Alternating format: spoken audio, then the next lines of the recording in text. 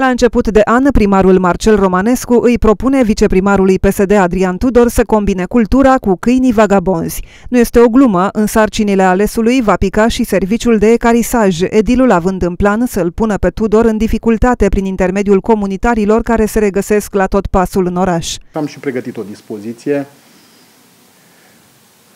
poate nu cu 1 ianuarie, cu 10 ianuarie, voi delega atribuțiile pentru activitatea de ecarisaj, partea de câini. Am dispoziția pregătită ca să aibă obiectul de activitate îmbogățit. De pe 10 ianuarie, domnul Tudor se va ocupa de câinii din municipiul Târgu Jiu. Păcat. Să, să verifice tot ceea ce înseamnă câinii, nu vă mint. După cum vedeți ei aici delegarea unor atribuții domnului viceprimar Drăghici Tudor Adrian Marcel. Ah, vă și spun cum sună dispoziția. Atribuția de coordonare a serviciului de utilitate publică specializat pentru gestionarea câinilor fără stăpân de la nivelul municipiului Târgu Jiu. Da? Deci, dispoziția există, urmează să o semnez și să o înaintez. Nu e un domeniu dificil. Când ești primar, trebuie să gestionezi toate problemele din cadrul unui, unei primării.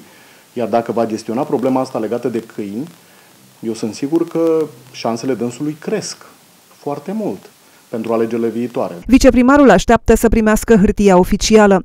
Tudor îi transmite edilului că problema câinilor vagabonzi a fost temă în campania trecută, când Romanescu a câștigat alegerile. A câștigat acest mandat de primar spunând că va rezolva problema câinilor din municipiul Târgu Jiu câinilor fără stăpân. Uh, după trei ani de zile își dă seama că nu are capacitatea de a rezolva problema asta și atunci încearcă să delege sarcina către uh, un viceprimar, lucru pe care o să-l discutăm la momentul oportun. Am mințit cetățenii că dacă va ieși primar, va crea un adăpost, uh, lucru care nu s-a întâmplat.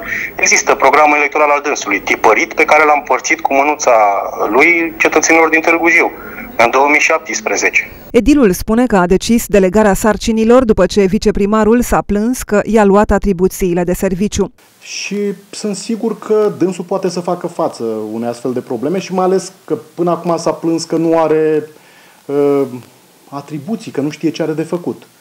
De pe data de 10 ianuarie are partea asta de delegată de atribuții legate de ecarisaj, de serviciu de ecarisaj din cadrul societății edilitare. Deci asta i-am, asta i-am uh, delegat. Dispoziția urmează să fie semnată cu data de 10 ianuarie.